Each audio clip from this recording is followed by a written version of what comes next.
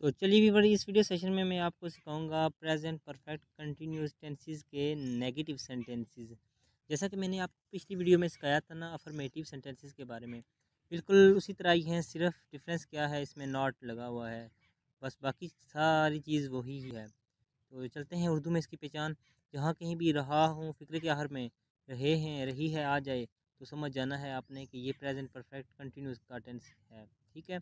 तो आगे कौन सा है? ये तो बाद में आगे पहचान होती है। जैसे नेगेटिव आ गया, उसमें नहीं लिखा होगा या नॉट होगा तो ये नेगेटिव हो जाएगा।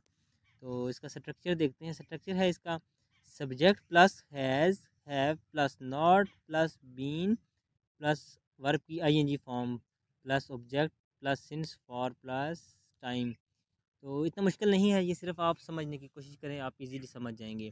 तो इसकी फ़र्स्ट एग्जांपल देखते हैं। वो है John has not been studying for two hours John दो घंटे से पढ़ नहीं रहा है। देखिए, इसमें नॉट आ गया, सिर्फ़ डिफरेंस नॉट का है।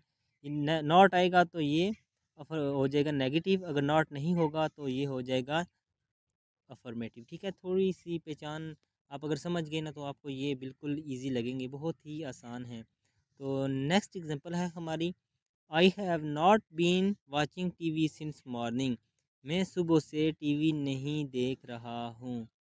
मतलब नॉट की वजह से सारा सेंटेंस चेंज हो गया।